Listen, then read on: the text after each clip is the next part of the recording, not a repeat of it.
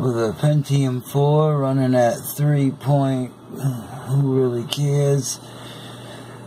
And um, there's four sticks of one gig each RAM, but it's only running three. And I'm not sure if that's a a um, a me problem, a RAM problem, or a Linux thing. Any rate, very uh, outdated piece of hardware, and we're gonna see uh, how much fun and what we can do with it. See if we can make it useful in 2019. Let's check it out. Alright, first off, I want to say we're recording this in inside the machine with Vokoscreen. It's a very uh, lightweight screen recorder that you can get right in the uh, Linux package manager, which is just like a app store. But uh, yeah, it's very lightweight and uh, doesn't um, hinder anything we're trying to do here. Now, here is all the uh, different media players and stuff like that right where you can get it set up. So it's right there at your uh, um, fingertips but we'll uh, we'll get back to that. Just we'll do a quick run through. This isn't so much of a um, review or whatever. It's just to really kind of show um, what you can still do. And uh, in order to get started, we'll just kind of get acquainted real quick. And uh, these are some of the the backgrounds um, from the the different variations of the uh, Linux Mint uh, desktop. As you can see, there's quite a lot of uh, to choose from. It's uh, it's gotten a lot better with uh, the selection right out of the box. And as you can see, all you got to do is just click and boom. And nice little show the uh, variation. If you're an Apple fan, well, here you go. it's even uh, So, some of the other little things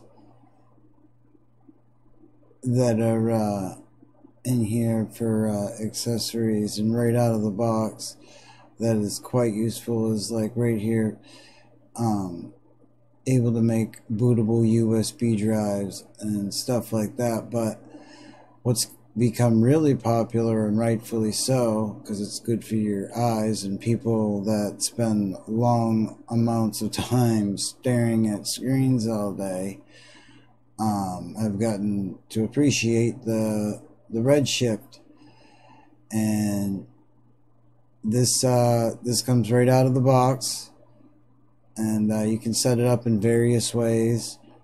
Um, it'll tell you um, all sorts of different um, aspects of what you're looking at and what you can set it at and stuff.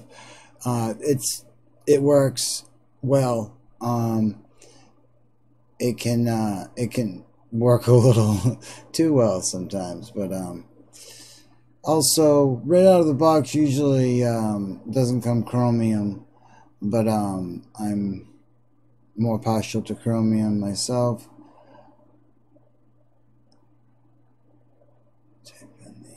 Password. Now, you're not going to be surfing the web um, with five tabs open and running vids and playing tunes in the background. This is kind of to just show that you could pull up a YouTube page. Um, you can watch videos um, and 480, no problem. Um, you're not going to be watching anything in high def. Um, you can surely um, stream some some good music from uh, the Killogic Effect and various type places like that. Also, see here. To give a quick uh, look at, just to show you, we're not pulling any trickery here, is the uh, info, which you can get right at right quick. As you can see, we're running uh, cinnamon.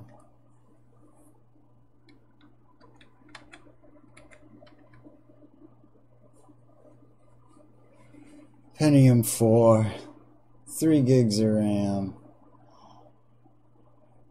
running at uh, 3.6 gigahertz.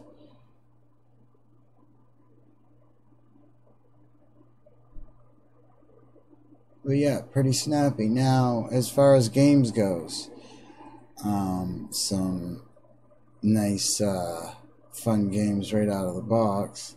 Again, you're not going to be obviously playing any AAA titles, but there are a uh, ton of um, just wicked fun games to, to play that are right in um, the the package manager or their their app store. Um,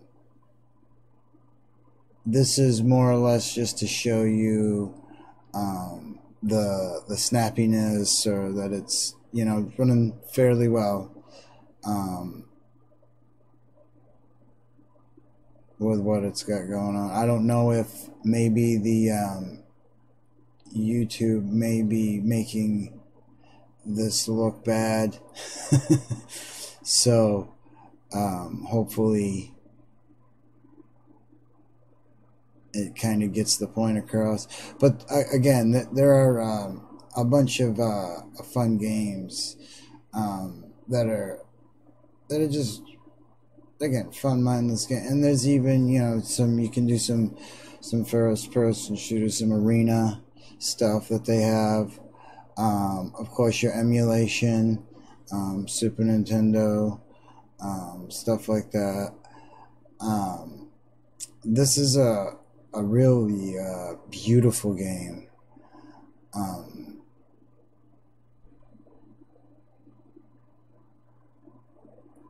Again, I don't know how YouTube is probably killing the frame rate and making this look ridiculous and um,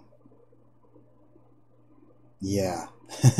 so, but the, the the point is is to you know just show it, there's not any graphics cards or anything like that in this thing. Um, it's just to show that uh, there's uh, there's still the uh, the regular mundane um, everyday and um, more simpler tasks that you could still do. Um, and especially with um, Linux distros that are much lighter than this. This was just one that um, I went to right out of the box to see, um, you know, what it what it could do. Again, there's ones that are way snappier and that you could, you know, that would blow your mind. But here we have uh, the full Office suite, um, which I second to none in my opinion. but uh,